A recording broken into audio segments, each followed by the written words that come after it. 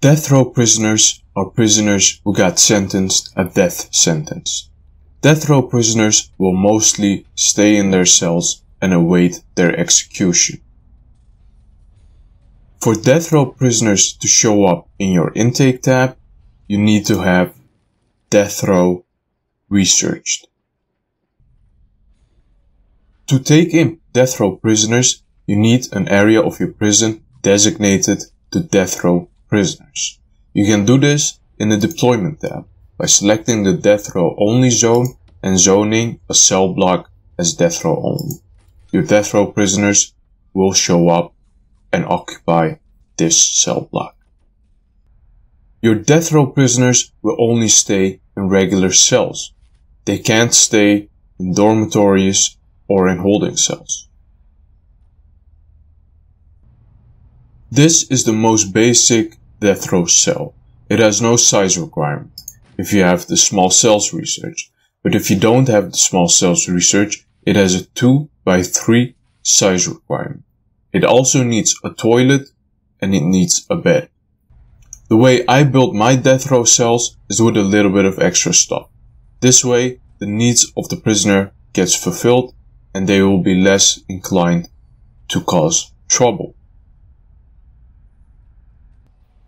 Once a death row prisoner shows up, they will mostly stay in their own cells. There are two reasons why they might leave their prison cell. One is visitation. Second one is death row appeal. A death row appeal is a hearing where the prisoner tries to get their death sentence overturned. It is a program in the program tab and you can plan it in and they will start showing up to this hearing. There are three different outcomes to the death row appeal. 1. Your prisoner is found innocent. Your prisoner did never commit those crimes, they are released and they won't be staying in your prison anymore. They will walk the streets again.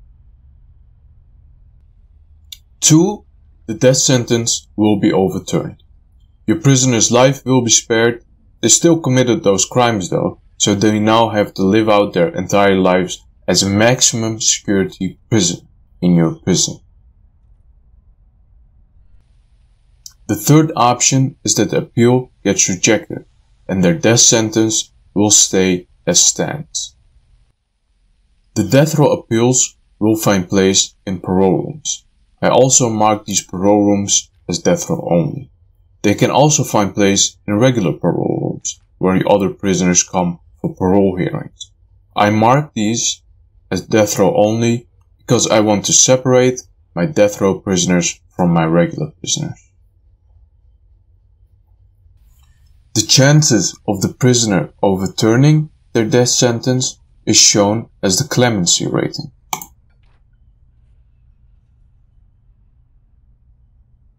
As you might see, this prisoner has 0% chance of overturning their death row sentence. Once the clemency rating drops down below a certain value, you can execute the prisoner without legal repercussions. If you only research death row, you can execute the prisoner once it's below 5% without legal repercussions. Once you executed execution liability, you can execute the prisoner below 10% without legal repercussions. You can also execute the prisoner if the likelihood of clemency is above those values. If you execute the prisoner when the likelihood of clemency is above those values and she is later to be found innocent, what will happen is you will get a huge fine and all your other death row prisoners will be taken away to a different prison. To execute death row prisoners, you need an execution chamber. An execution chamber only needs an electric chair. You can also put in regular chairs for the witnesses that are going to witness the execution. To execute the prisoner, you click on the prisoner and you press the schedule execution button. I like to execute the prisoners at night because the prison-wide lockdown will be a lot easier because all the other prisoners are already in their cells sleeping. After we lock down the entire prison, we need to test the electric chair. We do this by first turning on the electric chair and after that clicking the test facility button. After this, we need to assemble the execution detail. The warden and the security chief will make their way over to the prisoner's cell. Also, a spiritual leader will accompany the prisoner when she is getting executed.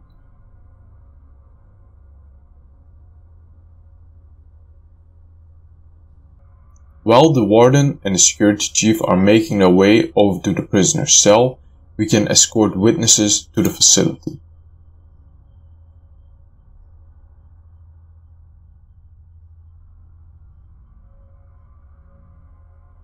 The witnesses are going to witness the execution. These are members of the prisoner's family and members of the victim's family. Once the witnesses are in the execution room, we can start escorting the prisoner.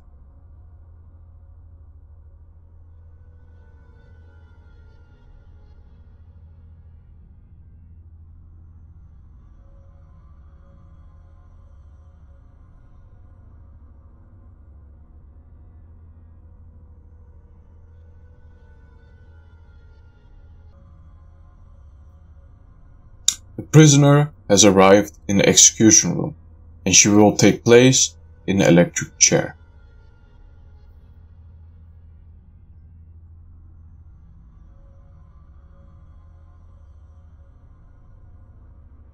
Once everything is in place, we can start with the execution. And the prisoner is executed. We now dismiss the staff and the witnesses and we get a final report.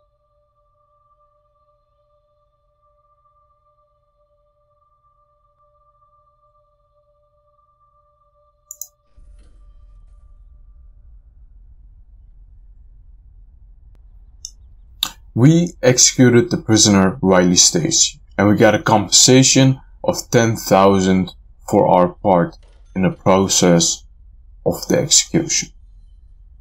That is how you take in and execute death row prisoners. If you like this video, please leave a like.